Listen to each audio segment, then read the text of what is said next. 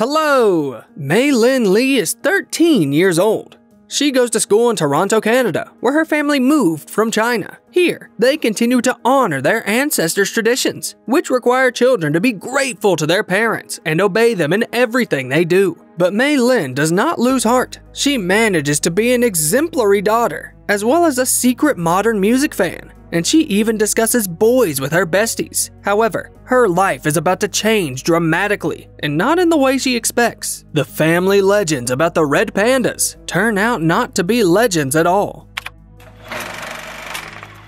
Mei recently turned 13, and now she is completely independent. She does what she wants, says what she wants, and wears what she wants. She doesn't even mind looking ridiculous when doing silly things. She is greeted by her best friends, Miriam, Priya, and Abby. After school, they run off together to see a local handsome shopkeeper, Devin. However, Mei prefers the five singers of the Four Town boy band. The other girls like them too, and together they sing and dance to Mei's favorite song. They're going to karaoke in the evening, but Mei refuses. She's in a hurry to help her mother with the house chores and runs home. Although her friends think that she has been brainwashed, Mei takes her responsibilities like an adult and carries them out with pride. Their family runs Toronto's oldest Chinese temple. Her mother Min praises her daughter's school success, and together they pray to their distant ancestor, Sun Yi, a woman of many talents who has devoted her life to caring for the red pandas, the symbol of the Lee family.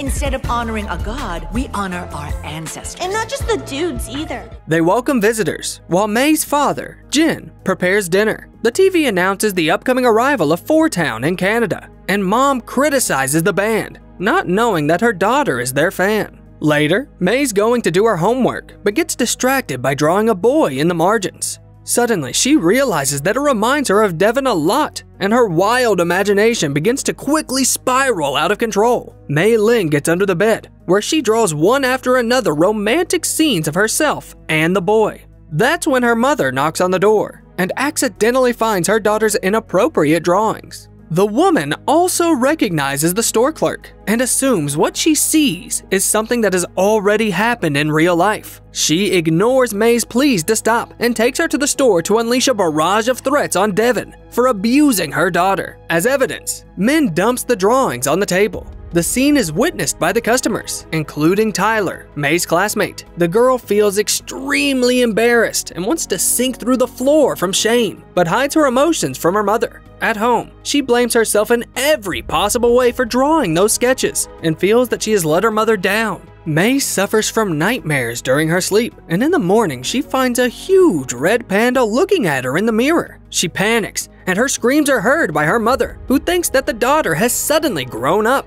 and rushes to get feminine hygiene products, a heating pad, and painkillers. It's going to be okay. No, it's not. Will you just get out? Excuse me? The girl says she is a horrible red monster and hides from her mother behind the bathroom curtain. Min urgently retreats to the kitchen, and Mei manages to sneak away. She tries to fall asleep and calm down, and this allows her to get rid of her ears and tail, and then turn into a human completely. She is very happy about this, and from the rush of emotions, she immediately gets covered back in fur. Mei Lin takes control of her emotions, and the only thing left from the panda is her bright red hair. To hide it, the girl now keeps her toque on, she keeps her cool with all her might, despite the fact that the whole school is discussing her embarrassing incident with the drawings of Devin. But from Tyler's apt taunts, the girl grows a tail, and the intrusive mother, who is rushing to school with the pads the girl forgot at home, finally drives her daughter to burst. A huge panda smashes up the classroom and runs outside, and only Min has time to notice what has happened. Some students notice the beast before it can leave the school. Passersby in the street scurry away from the monster. She doesn't know where to hide. Min's driving her car to follow her daughter. After causing an accident on the road, Mei makes her way home through the rooftops, with Min trailing after her. It turns out that this kind of magic is no surprise to her parents, even though they expected the transformation to happen much later, long ago. When all the men went off to war, their maternal ancestor Sun Yi found herself alone with her daughters. She prayed to the gods to help her protect her children, and they answered her request by allowing her to transform into a wild beast. She was able to fend off bandits, protect her village, and save her family from ruin. The woman then passed this gift on to her daughters, but to use it, one must be able to control one's emotions. The same also happened to men, except that in Canada, this ability became too much of an inconvenience. Mei Lin is furious again at not being informed of such a terrible curse, and in a fit of anger, tries to tear apart the portrait of Sun Yi. Her parents try to calm down their daughter, and tell her about a ritual that will permanently seal the panda spirit in an amulet similar to the one Min wears around her neck. The only problem is that the ceremony must take place during the red moon, and it's a month away. Until then, Mei Lin must do her best to control her emotions so that she becomes a beast as rarely as possible, because every transformation will complicate the upcoming exorcism ritual. It has never happened yet that the panda could not be sealed, but in theory it might occur if Mei Lin does not follow her mother's advice and allows her emotions to take over. And she can't let her family down by becoming the first one to fail. All of the daughter's belongings are taken out of her room, leaving only a large mattress. Before parting, the father says that red brings good luck. The parents leave the room, and through the door, Mei hears her mother say with disgust that no one should see her daughter like that. The girl cries, hugging her squishy toy, and falls asleep, turning back into a panda. In the morning, she desperately rips her fur off and slams against the walls to get rid of the beast's appearance. All her efforts are in vain because it only adds to her emotions and tears. Suddenly, her friends appear at the window. Being excited, they shout that the Four Towns concert will take place in Toronto on the 18th. The girls are shocked when a huge panda grabs them and pulls them inside.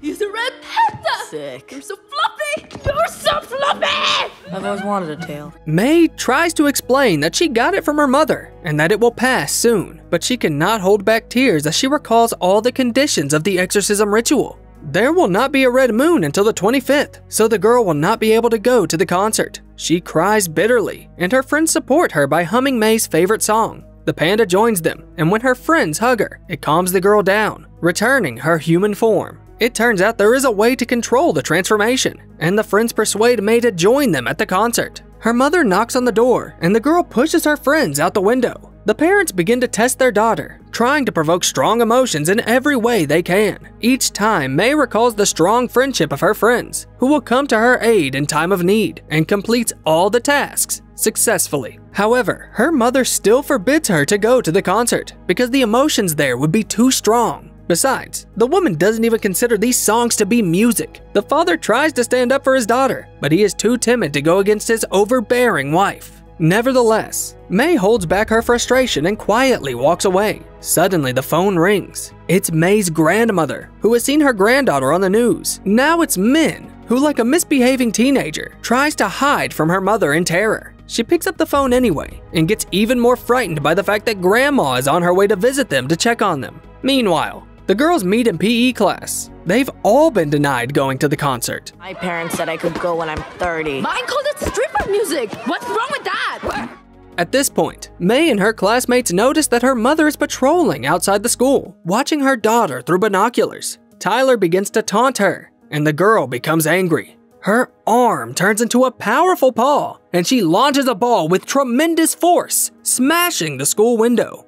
Her friends take Mei to the bathroom, where they discuss how to trick their parents into going to the concert. Abby asks Mei Lin to transform into a furry beast for a moment and give her a hug. Mei imagines her idol and fulfills the request. This is when a couple of shocked classmates notice them, but it turns out that they too really want to look at the cute animal, and they're even willing to pay for it. The offer turns out to be very timely because one ticket to Four Town costs as much as $200. The friends start doing photo shoots with the red panda and even selling all sorts of cute souvenirs. They hide the affair from their parents using a made up math club.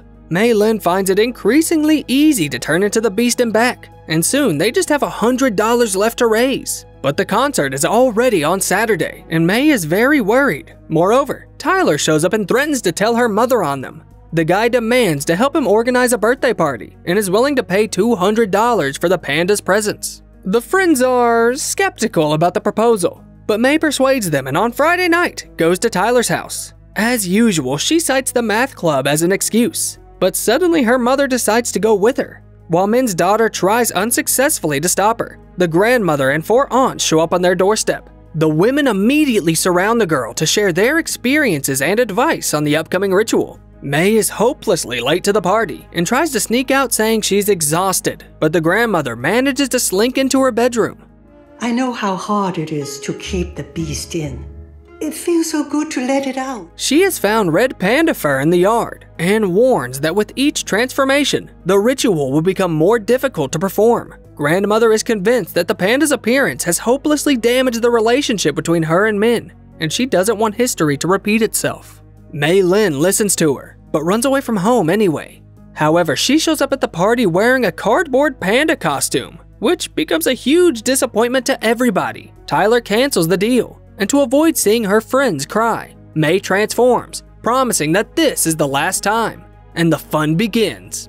Meanwhile, the grandmother leaves, instructing Min to keep an eye on her daughter. The woman enters Mei's room and accidentally finds panda souvenirs under the bed, discovering the girl's escape as well. The unsuspecting friends celebrate their victory on Tyler's roof. Miriam asks what will happen if Mei doesn't exercise the panda, but the girl can't even imagine this. Her parents have simply left her no options. Suddenly, they hear on the radio that Four Town will be in Toronto a week later, the same day that Mei is supposed to undergo the ritual. Abby has mixed up the dates, and Mei Lin becomes overwhelmed by panic and despair. She cannot hold back her emotions and turns to the panda. This is when she is spotted by Tyler, who demands to work off her earnings and give his guests a ride on her back. When Mei refuses, the birthday boy starts insulting her family, and the panda pounces on him, losing control completely. Tyler begins to cry, and the guests back away in fear from the furious beast. This was the most unfortunate moment for Min to appear, and she witnesses the scene.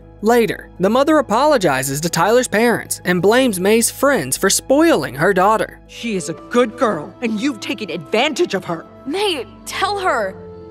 But Mei Lin doesn't have the courage to shatter mom's illusion that benefits her, and she silently goes home, betraying her friends. A week later, Miriam, Abby, and Priya buy themselves tickets to the show, while May prepares for the ritual with her family. She goes to get dressed, and her father notices that his daughter is in a bad mood. In the basement, he finds the video camera, which the friends have been using to record their merry songs and dances. Jin approaches his daughter and asks her about what he has seen.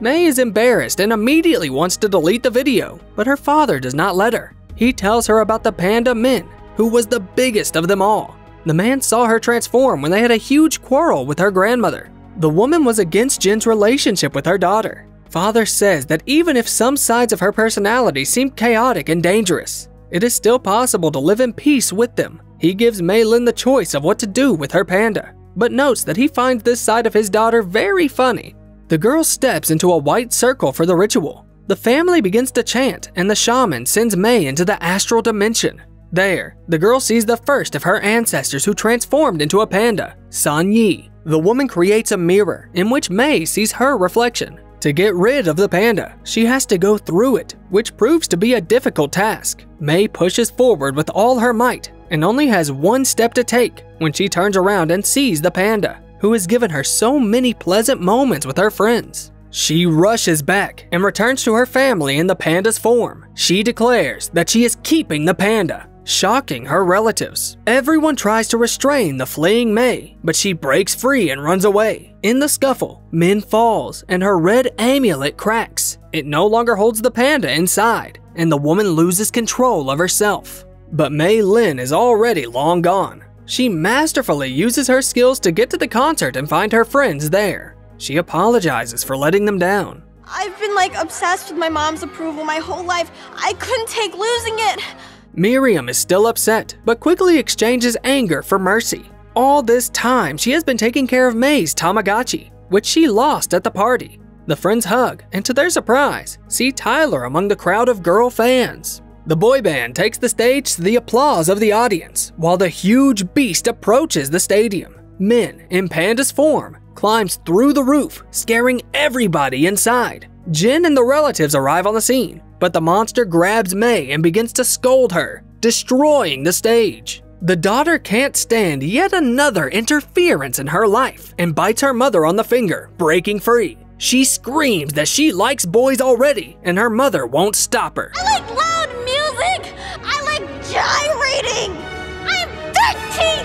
Deal with it. The daughter distracts Min while the family draws a circle on the ground and prepares a ritual to banish the huge beast. Mei dodges all of her mother's physical and emotional attacks, staying true to herself, and eventually knocks the clumsy monster over. Min faints, but half of her body is outside the circle, preventing them from completing the ritual. Mei Lin attempts to pull her inside to no avail, and Grandma, along with the aunts, also smash their jewelry, unleashing their pandas. They pull Min inside the circle, and Four Town and Mei's friends join in their chanting, which helps give the shaman enough energy to send all the pandas into the astral dimension. Mei meets her mother there, who looks about her age. Min is crying because she accidentally hurt her mother in a fit of rage. She is very tired of being perfect, and so is Mei. The girl understands exactly how her mother feels and encourages her. Together, they go to the mirror, where Min gets her age back. The grandmother and aunt are already waiting for them there, and Min uses the opportunity to ask her mother for forgiveness.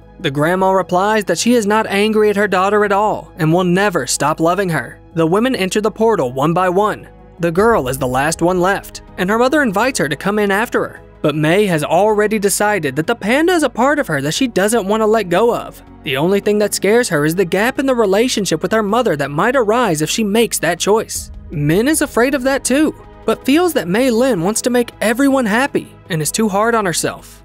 If I taught you that, I'm sorry. The mother supports her daughter in making the decision on her own and leaves. Mei is left with the spirit of Sun Yi, who embraces and lifts the girl high up. They touch noses under the moon, and Mei returns home. Mei and Min continue to do guided tours at the temple, which people now visit with more enthusiasm as they can look at the magic panda and to buy a t-shirt or a stuffed tail. However, this time they will have to raise a lot more money to rebuild the stadium after the panda apocalypse. Mei Lin goes out to spend time with her friends. She has let her inner beast out, and she doesn't regret it at all. As always, you can find the name of the movie in the video description. In the meantime, let us know in the comments. What's your relationship with your inner beast? And don't forget to subscribe to the channel and like this video so that more awesome stories come out as often as possible.